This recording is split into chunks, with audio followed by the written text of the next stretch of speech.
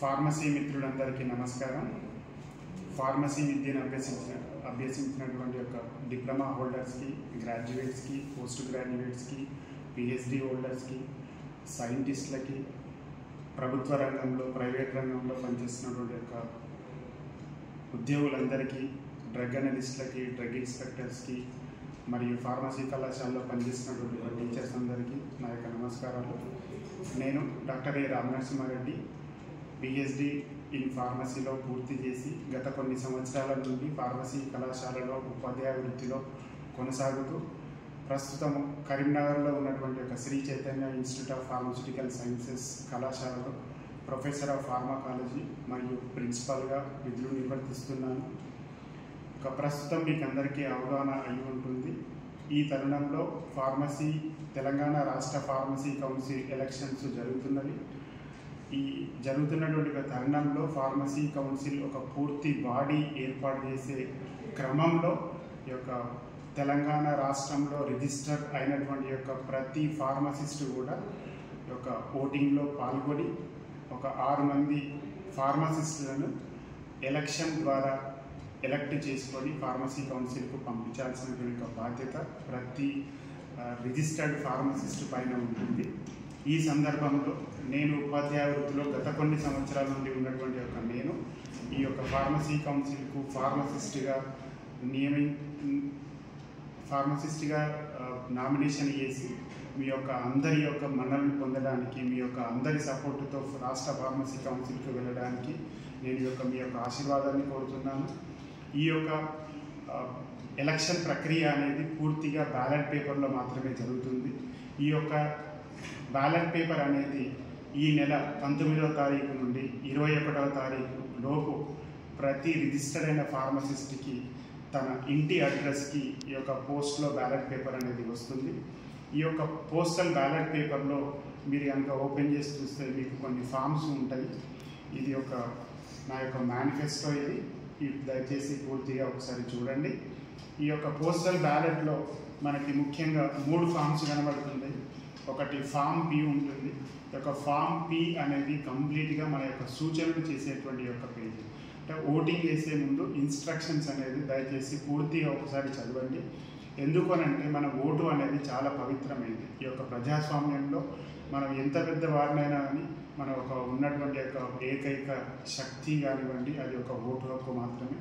దాన్ని సద్వినియోగం చేసుకోవాలి అని చెప్పేసి అని ఈ యొక్క ఇన్స్ట్రక్షన్స్ చదవమని మిమ్మల్ని కోరుతున్నాను.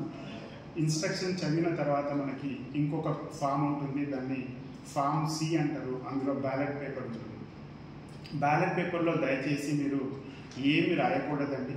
ఆ బ్యాలెట్ పేపర్లో ఈ యొక్క కౌన్సిల్కు నిలబడినటువంటి యొక్క ఎనభై ఒక్క మంది యొక్క సీరియల్ నెంబరు నేము ఆ యొక్క నేమ్ ఎదురుగా ఆ ఒక బాక్స్ ఉంటుంది. నా యొక్క సీరియల్ నెంబరు సిక్స్టీ ఫోర్ అరవై నాలుగు నేమ్ అందులో రామ నరసింహ అని మెన్షన్ చేసి ఉంటుంది. దానికి ఎదురుగా ఒక బాక్స్ ఉంటుంది. ఆ బాక్స్లో దయచేసి క్రాస్ మార్క్ ఇంటు మార్క్ వేసినట్టయితే నా యొక్క నాకు మీరు సపోర్ట్గా ఓటు వేసినట్టు జరుగుతుంది. అలా మీరు ఓటు వేసిన తర్వాత మీరు దాన్ని ఎటువంటి రాతలు కానివ్వండి ఏమి కూడా చేయకూడదు. దాన్ని ఆ విధంగా కంప్లీట్ చేయాలి. దాని తర్వాత మీకు ఇంకొక ఫామ్ ఉంటుంది. ఫామ్ డి అనేది ఉంటుంది. ఈ యొక్క ఫామ్ డి అనేది ఈ విధంగా ఉంటుంది మనకు.